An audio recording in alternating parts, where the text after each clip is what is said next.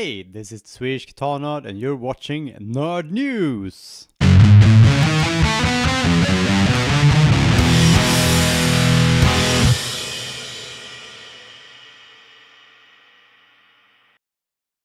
Well, you know, there's a big company called Fender, and they are making guitars.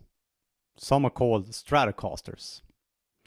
And most of them have tremolos, and that's something that not all people seem to like, because I see this coming up everywhere. People want hardtail strats, where there's no tremolo or moving bridge at all, just a hardtail, solid, nice bridge. Uh, I think the only way at the moment to get a production line Fender guitar that has a hardtail is to buy the cheapest they have. The Squier Bullet now comes as hardtail, which is great, and I requested this in my review, and it's just amazing. Someone who starts with a new guitar shouldn't have to have the tuning problems that a cheap trem uh, will cause. Well, if you're missing uh, American-made Fender with a hardtail from a standard line. And well, there are of course options, and one new is from Godin Guitars, based in Quebec. But I think some of the guitars are actually made.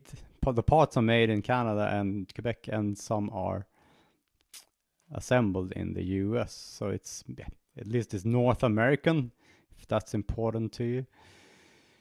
And they have now the session HT, where HT is, of course, hardtail. So it's basically a Strat guitar, two single coils, a humbucker, and a nice solid bridge that don't go out of tune as easily.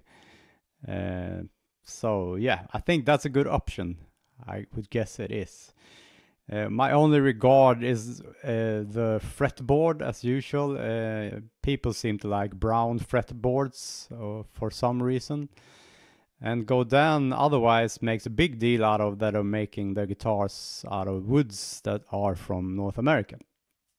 So why not make a maple fretboard HT, session HT?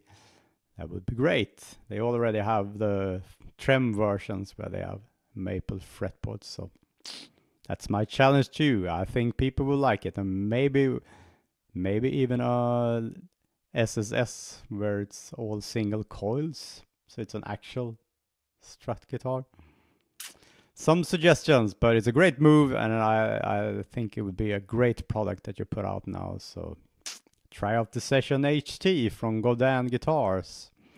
And if you're representing a company or have suggestions uh, for uh, products that I should mention in Nerd News, well, write me on this address or leave a comment and I'll see you soon. Bye!